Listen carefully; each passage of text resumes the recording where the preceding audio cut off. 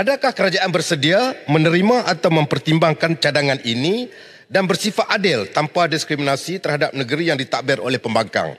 Buktinya, kita tengok baru ini Pulau Pinang dengan mudah saja mendapat peruntukan LRT sebanyak 10 bilion. Sedangkan Kedah nak minta berjumpa atau berbincang dengan Perdana Menteri pun tak dapat sehingga sekarang. Saya nak mencadangkan tidak ada perkara yang tak boleh diselesaikan dengan perbincangan. Kecuali kita bertegang. Kita duduk meja, kita bincang. Masalah pribadi kita letak tepi, ini pengurusan negara untuk rakyat. Jadi saya harap Perdana Menteri yang ada sekarang ni uh, berlapang dada, tidak koyak, kita boleh bincang untuk kepentingan rakyat. Pribadi kita buat masalah, mahkamah akan selesai yang tu.